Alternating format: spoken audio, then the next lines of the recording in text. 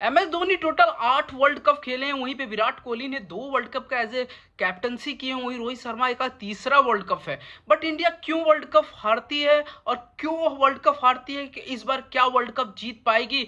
क्या ऐसे पाँच छह रीजन है जो इंडिया हमेशा हमेशा वर्ल्ड कप में हारती है चाहे सेमीफाइनल हो या स्पोर्ट्स यानी यूट्यूब चैनल में। तो आज हम इस पे बात करने वाले हैं कि यार इंडिया वर्ल्ड कप क्यों बार बार हारती है चाहे टी ट्वेंटी वर्ल्ड कप हो या फिफ्टी वर्ल्ड कप हो या डब्ल्यू का फाइनल हो। इंडिया WTC फाइनल दो बार पहुँची तब भी नहीं जीती फाइनल आपके टी ट्वेंटी वर्ल्ड कप की बात कर लो तो अभी टी ट्वेंटी वर्ल्ड कप है तो इंडिया क्यों बार बार हारती है? तो बात किया जाए India T twenty world cup total world बात किया जाए world cup T twenty world cup दो हज़ार से शुरू हुआ था और दो आ चुका है। इंडिया सिर्फ़ एक वर्ल्ड कप जीती है, वो भी पहला टी ट्वेंटी वर्ल्ड, उसके बाद इंडिया कभी भी नहीं जीती है।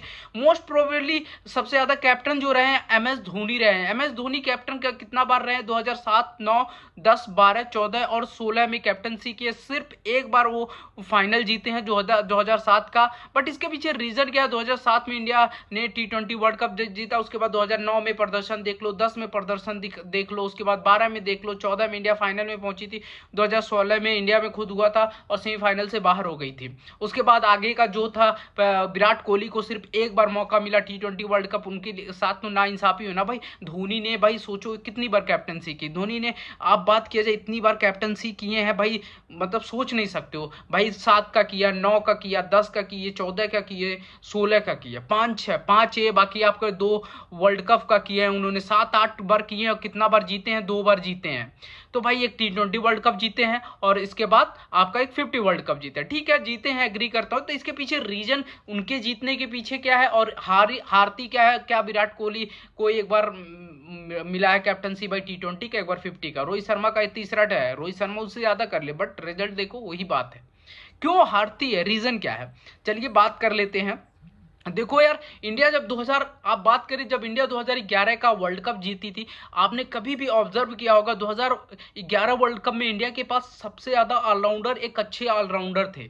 कौन कौन ऑलराउंडर था, आपको पता होगा कि आपके पास सुरेश रैना बैटिंग बॉलिंग कर लेते थे, और बैटिंग बॉलिंग और फील्डिंग भी अच्छा कर लेते थे। Yuvraj Singh batting, bowling fielding से पूरा टूर्नामेंट जिताए थे। उसके बाद बात कीजिए, सचिन तेंदुलकर बॉलिंग कर लेते थे, वीरेंद्र सहवाग कर लेते थे। आपके पास बॉलिंग ऑप्शन खुल खुला खुला रह जाता था। आपके पास गौतम गौतम नहीं कर पाते थे बॉलिंग आपके गौतम नहीं कर पाते थे। विराट उस समय कर लेते थे बॉलिंग जब आए थे। बाकी आप एम एस धोनी नहीं करते। बाकी ओवरऑल बॉलिंग था और बैटिंग से भी कंट्रीब्यूशन चाहे 2007 का टी वर्ल्ड कप देख लो, उस समय भी युवराज सिंह, रैना, सब बॉलिंग कर लेते थे। बट बात है कि अब क्यों नहीं ऐसा होता है? अब क्यों बार बार आप जी हार के बाद 2014 का देख लो 16 का देख लो, फिर 2019 का टी 2019 का वर्ल्ड कप में क्या हुआ था? 2019 के वर्ल्ड कप में इंडिया का पहला नंबर जो रीजन है इंडिया का आपके पास ऑलराउंडर है ही नहीं। पहले नंबर ऑलराउंडर है ही नहीं।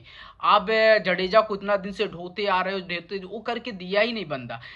बैटिंग टॉप ऑर्डर में नहीं कर पाता। बॉलिंग में भी मेन मैच में विकेट नहीं ले पाता। मार खाता चाहे चैंपियन ट्रॉफी 2017 का, हार्दिक पांड्या को आउट करा दिया। उसके बाद आप 2021 का देख लो, फिर आप 2016 का सेमीफाइनल देख लो फाइनल हमेशा वो बंदा फेल हुआ है। उसको टीम में रखे, रखा जाता है बार बार उसके बाद इंडिया की तीन गलतियाँ जो हमेशा गलती करते टीम गलत चूज़ करना, टीम गलत चूज़ करना इंडिया का बहुत बच्चा है। 2021 का world cup, T twenty world cup देख लो। आप चक्रवर्ती को ले जाते हो, राहुल चाहर को ले जाते हो, यूजी चाहे उस समय फॉर्म में रहता है, उसको नहीं ले जाते हो। कुछ भी करने, कर लेते हो आप लोग। चाहे 2019 का वर्ल्ड कप देख लो 2019 के वर्ल्ड कप के आप देखोगे भाई, आपको रायडू की जगह आप विजय शंकर को और क्या क्या टीम आपने चुन लिया था। फिर दिनेश कार्तिक को सडनली ला देते हो।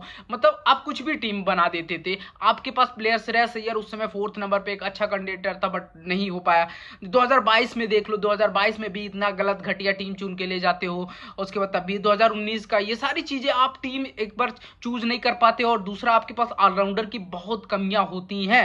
उसके बाद आप देखो यार, कभी भी आपने कभी ऑब्ज़र्व किया, जब इंडिया हारती है मेन मैच कब हारती है? आपने कभी भी ऑब्ज़र्व किया होगा टॉप ऑर्डर का फेलियर आपके टॉप ऑर्डर हमेशा मतलब खुश हो जाते हैं। चाहे 2019 का सेमीफाइनल न्यूजीलैंड के खिलाफ हो? या 2022 का इंग्लैंड के खिलाफ सेमीफाइनल हो?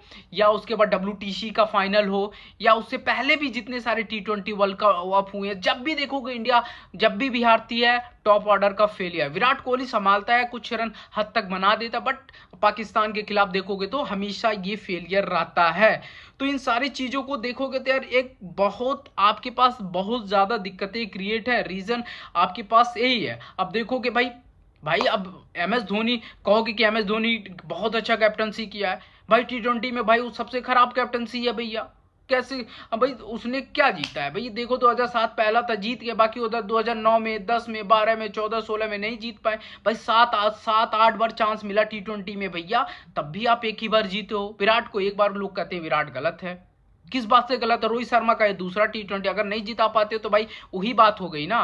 भाई किस बात के लिए तुम हो?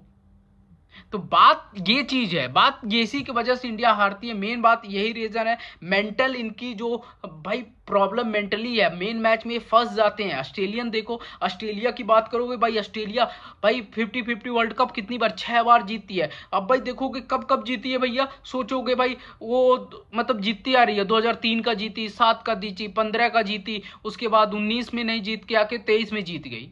तो इनका जीतने का सिलसिला जारी। है इंग्लैंड देखो, इंग्लैंड भाई 2019 का जीता, फिर उसके बाद टी ट्वेंटी वर्ल्ड कप 2010 के बाद दो दो टी ट्वेंटी वर्ल्ड कप जीत गया डब्ल्यू फाइनल भी जीता है अभी ऑस्ट्रेलिया।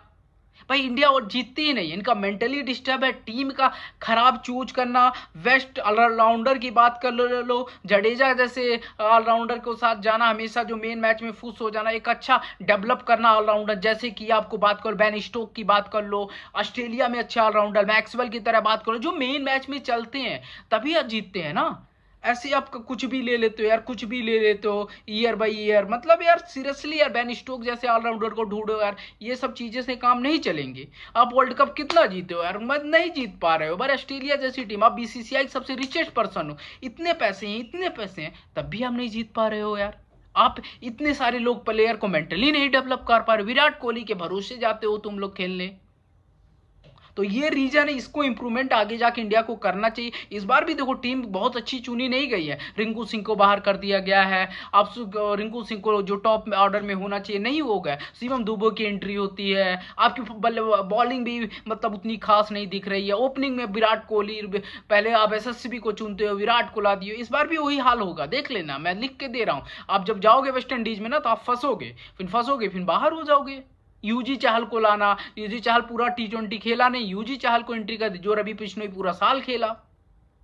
यही कुछ रीजन है जो इंडिया वर्ल्ड कप नहीं जीतती है। वीडियो अच्छी लगी तो लाइक करना शेयर करना सब्सक्राइब करना thank you and bye bye take care